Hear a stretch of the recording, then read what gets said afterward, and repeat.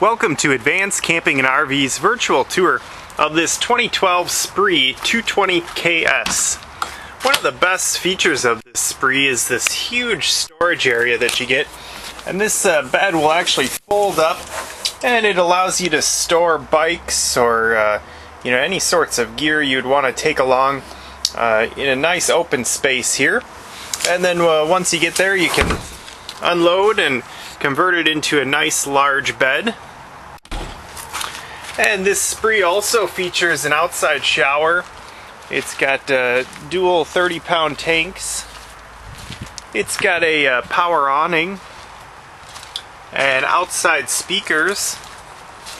This Spree also has a Trail Air Equa-Flex suspension as well as 15 inch wheels. And as we enter here, you'll see it's got this beautiful wood plank look floor and in the front are the bunks, which are double wide. And as we uh, look backwards, you can see it's got uh, a nice stove and kitchen area, oven, range hood, and microwave. Plenty of cabinetry, and it's a maple wood uh, cabinetry. Nice bank of drawers here, and all of the KZ drawers are ball bearing drawer guide, full extension with uh, real wood. And it's uh, extra large 6.3 cubic foot double door uh, gas electric refrigerator.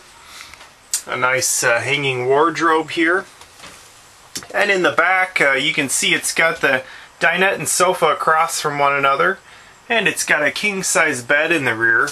And this is a power slide out so when you're towing this will come in and uh, makes the unit you know five feet shorter for a travel length uh, once you press the button and bring that in and uh, there's a nice spot for a, a, flat screen TV and it's got HD uh, ready TV antenna this unit also has uh, ducted roof air and uh, heated enclosed underbelly so you could do sub-freezing temperature camping if you'd want and your water systems would all be safe. And it's got a nice bathroom with some cabinetry.